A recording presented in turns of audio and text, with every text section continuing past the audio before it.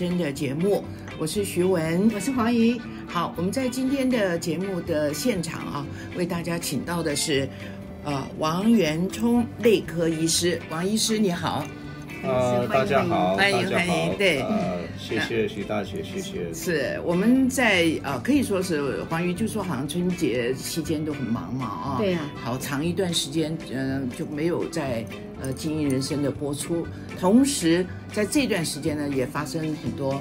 大家心理上想问的问题，对，所以我们呃新春第一炮选到了王医师，来针对我们现在呃最关心的一件事情，就是健康的大家的健康问题，我们来谈一谈。是，每当我从家里面出来就要坐火车啦，或者是坐公车，然后就会戴口罩。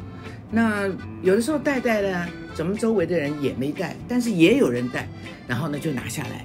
拿下来呢，过一下想想，哎呦，又害怕，又戴起来。王一，王一，你会不会这样子？对呀，我有时候戴一个口罩出去，一看大家都没戴，我就把它收起来。可是，一看到有一个人戴，我又又戴，对对对，跟我一样。那不晓得会发生什么事情，我还是比法拉盛的人戴的还比较多一点。对，法拉盛戴。对。所以，单单就戴口罩，当然这是跟 COVID 都有关系嘛啊。那我们今天就请王医师呢，给我们把握时间啊，跟我们谈谈，除了戴口罩，还在这段时间我们要注意的事项。对，戴口罩跟不戴口罩有什么影响？你帮我们分析一下。嗯，好的，谢谢大家。呃。这个戴口罩是我们这个新冠这个整个疫情造成的一种社会现象。哎，呃，从一刚开始的时候，因为新冠很致命嘛，哎呦，当然大家不要隔离，那个六尺啊，戴口罩啊，要洗手啊，这是一个好的习惯。但是，呃，出现了一个现象，就是说，我们戴口罩时间长了。身体对于周围的这些病菌，平时很常见的病菌，以前一个普通感冒那种病菌，就没有机会跟这些病菌接触。那么病菌感染是对我们身体的一种自自然免疫现象啊，因为就是因为我们戴口罩戴时间长了以后啊，最近这几年的冬天呢，这个上呼吸道感染非常呃严重。基本上每个人都会有，而且一一一病就是病几个月都不停的反反复复。我上次去微西逛一下，回来就感染上了。是啊，所以说这个戴口罩的好处就是说，当这个病毒是很致命的时候，戴口罩，那么可以预防感染到这种致命的疾病。但是那些对于那些不是很致命的病毒的话，病菌，那么。戴口罩就不是很好的事情，为什么？我们把我们身体跟这些病菌隔离开了以后，那我们就会失去一种自身的一种免疫力，这个自然呃这个接触病毒造成的免疫力。通常我们的新冠之前都已经对这些病菌都很熟悉了，我们身体啊，但是因为隔离了几年以后，我们身体对这个病菌的识别能力。通过一段时间，慢慢就是减弱、减弱，甚至消失。哦，哎，所以说戴口罩对一些不致命的病菌不是个好的办法，没有意义，反倒啊，这个影响我们身体的一个免疫系统的这个抵抗力。哦，是。我有个问题啊，王医师。啊。呃，有些人说感染了以后就免疫了，对不对？对。可是为什么又一再的感染？莫名其妙的，哎，过一阵又有，过一阵又感染，而且这个痰都清不掉，而且永远都在咳嗽，永远都在流鼻涕。嗯，我们身体对于病菌的这个免疫力有几种几种呃这个情况，一个就是说啊不同程度的抵抗，比如说新冠，大家都说哦我打了疫苗了，我中了招了还感染，为什么？我它感染会造成你身体一个增加，它因为细菌的，我们知道新冠很多这个变异嘛，变异，每一次变异就出现一种新的呃这个菌那个菌群，嗯，那这个菌群会对身体又我们又不是很认识它，这不证明就是说我们对它们没有抵抗力，而是我们呃这个抵抗力还没有完全能够把它。这个踢出去，马马上就踢出去，所以身体还是要接触了以后再进一步认识。所以我们身体的这个免疫系统是一种，好像这个自己会学习一个过程，慢慢慢会增加抵抗力。所以说，啊，这个是新冠而已。那么其他呢？因为我们好几年这个变异了，对，这是变异是新冠，但是还有各种各样的细菌呢，很病很多病毒啊，呼吸病，我们像说叫做 RSV 啊，或者是 Rhinovirus 啊，各种各样的的病毒啊，这个感感染好了以后，另外一个又来了，所以反反复复，有时候就是不同的病毒造成的感染，我们会觉得怎怎么搞的，我一个月都不停的在在在感冒。其实就是不同的病毒轮番来对你身体，呃，增加免疫力，啊，说的呃，这个可能大家不会相信这是一种身体建立免疫力的一个过程，但是事实就是人类发展的过程中对周围的环境的各种各样的病菌呢，就是靠接触它们来产生免疫力的，所以说你不能完全隔离掉，一隔离掉你身体就没有这个抵抗力。是是是，这种情况好像是那一个南非的一个女医师讲的。我不知道呃，大家记不记得这个二零一二零二一年年底，二零二一对二一年底这个圣诞节前后的时候，我们二零二一年。夏天的时候，这个印度出现了那个 Delta，嗯嗯，也是很致命，大家也吓到，吓得不得了。对，然后到二零年二零二一年年底的时候，这个 Omicron 出来的时候，奥密克戎出来的时候，大家都很怕，因为奥密克戎。它的传染的速这个速度比那个 Delta 还要快，快了几十倍。对对对对。那么这个病毒一来了，我们糟糕了，大家是。可是我们就觉得说什么没完没了。对，没完没了了，大家都吓坏了。结果南非这个医生是女医生，她就观察一下南非所有这些，呃，感染了欧米克戎的病人呢，基本上死亡率非常非常低，甚至低于流感。嗯。那么他就说，大家不要怕。其实奥美克隆是，说不定上帝送给我们人类的一个大礼。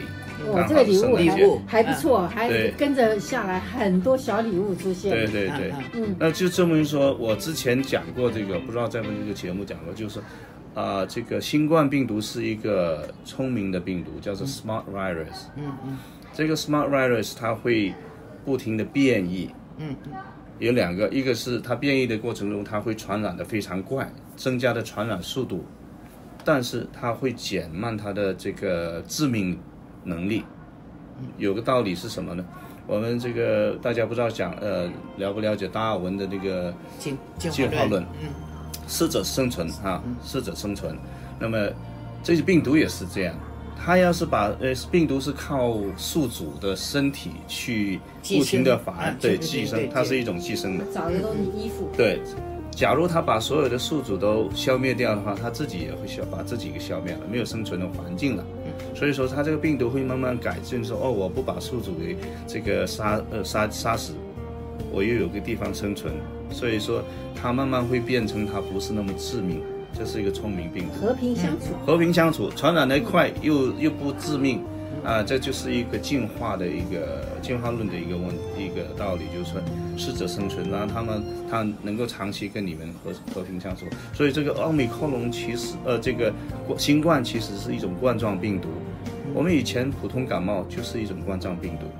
所以新冠比较 厉害，它这个比较厉害，但是它慢慢变异了以后，以后就好像我们每年都会有感冒啊，可能就是它们。是，王医师早期的时候哈，就讲到，呃，在国内啊，中国大陆不是说要清零嘛，哈，其实清零的意义就是说我完全没有哦，通通没有。那您对这个呃清零的政策的呃看法呢？就是清零是一个临时的这个。可以临时的决定可以，但长期它就可行性就不不是很大。为什么？呃，当初清零是因为我们我们支持清零，是因为这个病毒致命力很强，我们能够尽量把它隔离掉，能够尽量减少死亡。然后啊，等到我们出这个能够呃研制出疫苗啊，嗯嗯或者是这个病毒变成不是那么致命了，我们慢慢放开。啊，等这个病毒不能不那么致命了，那么清零那时候是呃可行的，也是必要的，呃减少死亡嘛。但是搞到后来奥密克戎出来了以后，其实清零的意义就不存在了，因为什么？一个奥密克戎这个新冠病毒已经不那么致命了，另外一个说实在话，我们不可能完全把这个病毒给隔绝隔绝掉。嗯嗯，他们没办法，因为他们传染的速度一一个太快，另外一个就是说还会变异，会变异。嗯，呃，这个呃，基本上你是没办法百分之百把它去除掉。是是，那从疫情到现在整体来讲，您对这个整个呃目前的这个看法，还有它，因为现在报上也不登了嘛，那大家就没有了啊，都没有讯息，没有讯息了。那事实上，您的看法？我们要注意一些哪些事项？对我我个人的看法就是说，呃，我们之前呃应该打的疫苗，像流感疫苗啊，应该打，呃，这个会对流感要打。新冠疫苗呢，现在其实因为新冠一直都是属于叫做紧急使用授权，所以说它新冠的这个疫苗的这个长期的副作用，我们还不是很了解，这是一个原一个一个呃破口。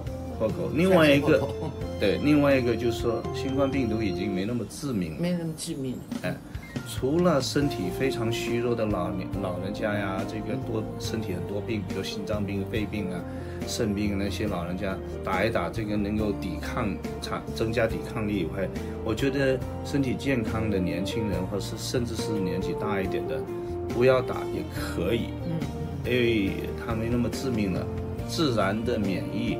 很多时候会比疫苗的会更好一些，是比如说你感染以后，你这个免疫力会比那个这个会更更正确、更准确一些。所以打与不打都没有什么关系。对，对一些对健康人群来说，其实我是我个人是不主张再继续注射这个新冠疫苗。对啊，那么整个呃另外一些注意的事项是，大家心里要记住啊，有一个准备，就是说。感冒是很正常的现象。假如你说哦，医生，我我很多病人来跟说，我咳嗽了一个月还是不停的有这个问题。对，这是最常听到。经常有人说哦，我刚好刚好了一点点，突然又加重了。啊，其实这个现象很普遍，在我的病人里面，它不是一个感冒，而是你反反复复的感冒，反反复复的感染，不同的病毒在感染。为什么？因为我们这几年戴口罩戴的，我们身体对这些病菌的识别能力下降了。就我前面讲到，你感染以后造成的免疫力，通过一两年呢，你这种识别能力就基本上就下降，或者甚至消失。所以说这些反反复复的感染感染，啊，虽然说很很很讨厌，很又搞得很不舒服，但是没办法，还是。就是尽量呃休息好一点啊，多喝水啊，能够这个保持身体的这个抵抗力，呃，慢慢度过这个难关，以后就没事。是，我估计，今从现在开始，每一年呢，这个上呼吸道感染，冬天的上呼吸道感染，慢慢慢会减减减低，啊，这个慢慢会少减少。为什么？因为我们身体慢慢又开始对这些常见的病毒恢复了抵抗力。嗯嗯嗯，您建议？哪些场合戴口罩？呃，基本上我觉得去医院，医院，呃，去医院你还是要戴戴口罩。嗯，假如呃这个政府说哦，突然这一带这个地方出了出现了比较大的人群产生这个奇怪的变异，这个感染，也可以适当戴口罩。但是基本上我觉得啊，假如你身体。这个状态比较好的情况下，呃，尽量不要戴口罩，因为给你的身体更多的机会去接触这些病菌，呃，它自己会产生抵抗力。所以不要戴口罩，不要戴口罩。对。那过敏的人哦，比方一接触到不好的空气，或在车上，嗯，我坐在车上就开始打喷嚏，那这种情况呢？我过敏其实也是一种我们对外来的这个抵抗，一个排斥，先是排斥，嗯啊，过度敏感排斥。所以有些人过敏体质，呃，最好是用那个抗过敏的药，哦，呃，不要隔离，隔离其实是对身体这个过敏的一种，啊，不是很好的一个做法，就是把它隔离开。为什么？我们身体对保护太好了，没有，这是一个。我我有一个一直都调他，我我是从大陆过来的，嗯，以前我没有听说过小孩子对这个花生过敏哈，嗯嗯，来这边呢学校哦，很多小孩对花生过敏，嗯，我们在大陆什么东西就接触，小孩子虽然哎吃了花生以后有点不舒服，哎他们他过几次了以后，他产生一种脱敏反应，就脱敏。了，就没有了，就没有过敏了。身体识别，他认为它不是坏的，不是坏的坏的，呃，就把它这个哦接受了。嗯嗯。很多过敏科医生都给你，大家不知道听有没有去看过敏科？有个治疗方案叫做脱敏疗法。嗯嗯。Desensitize 呃 treatment，就是用那种过敏源在你身体里面。给你不停的给你接触来产生这个脱敏，所以说，呃，即使是过敏，也不一定戴口罩。嗯，实在太严重了，你戴一下减减少一下这个症状可以，但是可以吃那个抗过敏的药嘞。那王医生，我们还有很多的朋友，对，感染上了，到现在好像声音也哑了，没事，呃，喉咙又又多痰，嗯，然后。莫名其妙的，有时候也会咳嗽。嗯，那像这样的话，我们要怎么样去把身体的免疫力做得更好？然后一感冒他就没声音了。是，很多人都这样。呃，这个现这个现象很常见，尤其是呃最近的新的这个新冠病种，尤其呃奥密克戎以后啊，很多都是在上呼吸道，嗯，会造成喉咙很痛啊。刚开始刚奥密克戎刚出现的时候，喉咙非常痛的，那么。这种现象也是一种上呼吸道感染的很常见的一些症状。那么我们还是修护的方法，呃，好像声音都回不到以前那么清脆、那么那么甜美了，对，低沉了。因为你的一个声带跟那个喉咽喉部可能还是有点水肿，嗯，水肿受伤，呃，有点水肿受伤，所以那些要需要一点时间恢复。另外一个一些消肿的药物啊，止咳的药物里面都有有抗过敏的一些。消肿的这个药物可以适当服用一下，最关键的是还是要增加身体的抵抗力。那么除了尽量接触病菌以后以外呢，还是要锻炼啊，比如说做做这有氧运动啊，呃，多呼吸新鲜空气啊，休息，对，很重要。嗯嗯，是是。王医生，你能不能谈谈您的经历？哦。我我其实比较呃有一个比较 unique 的这个情况，就是我是大陆过来的，嗯哼，我在国内呃读的医学院，医学院，然后在国内医学院毕业以后做了六年的创伤跟整形外科医生，呃，我一九九五年呃移民到美国以后，又重新这考取这个行医执照，后来。考那不简单。对，考完以后，而且考完以后申请实习遇到一些难困难了以后，我又在这边再重新把医学院再读了，再去读。对，所以那你起码有双重的经验，十几年都在念书。是是，我读书就读了。从上第一次上医学院是一九八四年，嗯，到我第二次医学院毕业是二零二二零零二年，整整就是差不多是二十年的时间，十八年，哇，全无纪实，啊。其实也蛮蛮好的一个经历，就是说在这边读了医学以后，就觉得对这边的医疗系统啊了解的更透彻一些，跟这边的医疗系统更容易呃接触他们，接受他一些新的东西。后来我我二零零二二零零二年医学院毕业，在纽约理工大学医学院毕业以后，就在啊皇后区长老会医院啊啊做了三年的实习。啊，实习完以后，我还在长老会医院做了两年的这个全职的 这个教学，这个实习教学，经验丰富啊，是是是。那么王医生，我想请问一下，对于这个我们所谓的这种疫情感染，什么样体质的人要特别注意？一般来说都是三高嘛，除了三高之外，还有什么样的体质啊，或者是有什么症状需要打理呀，或者是保养？通常来说，三高要是没有造成这个身体的抵抗力下降，也不是会给你太多的问题。糖尿病当然是身体抵抗力会差一些。嗯。啊，三高的对身体的影影响主要是对心血管跟脑血管的这个造成的损坏。啊，我们之前所讲的这些呃不好的情况，就就说身体比较差的这个病人呢，主要是一个。呼吸道的慢性疾病，比如说这个肺气肿啊、哮喘病人啊，这个上呼吸道感染以后容易进造成肺炎。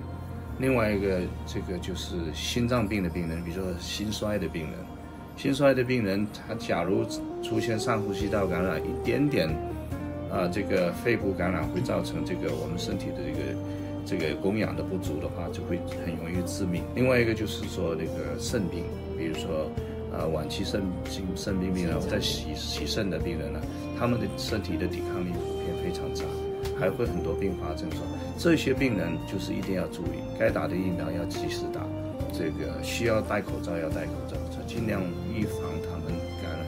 我们一般普通感冒不会致命，对我们普通人来说，对他们可能就会造成致命，不是因为这个感冒致命，而是他身体本身的那个呃基础病不容易严重了，基础病变严重是是好，那我们今天我们两个最需要的就是喉咙声带恢复的像以前那么甜美。天老觉得有差的，天老觉得应该我我我女儿要当老师哦，嗯她动不动像这两天她声音又没有，嗯，就就对，好像这两年特别容易讲讲就声音哑了，就是因为各种各样的病菌跟这个过敏源，我啊就是们身体多喝水喽。其实休息，罪魁祸首是口罩或者是新冠，因为新冠造成我们戴口罩，戴口罩以后就跟周围的这个隔绝了。以前有一个电影，在六七十年代有一个电影叫《Bubble Boy》，嗯，就是有一个身体免疫力很差的一个一个男孩子，他们把他放在那个气球里面，在里面生存，因为他不能接触外面的呃接触外面的细细菌。嗯，呃，我们其实戴口罩把隔离开来，呃，我们身体本来是有一个很好的免疫系统的，嗯但是不认识那些坏人了以后，我们就不能跟他敌对，敌对啊不能敌所以我们最后的结论，不要戴口罩，不要戴口罩了。好，谢谢黄医师，对谢谢黄医师。好那谢谢谢王医王王王王元聪医医师。他也是呃我们嗯马拉谢谢盛快诊中心的院长。哦，是是，谢谢好谢谢谢谢谢谢徐大姐，谢谢。好，好谢谢，拜拜，拜拜。谢谢收看，请点赞、订阅、按下小铃铛。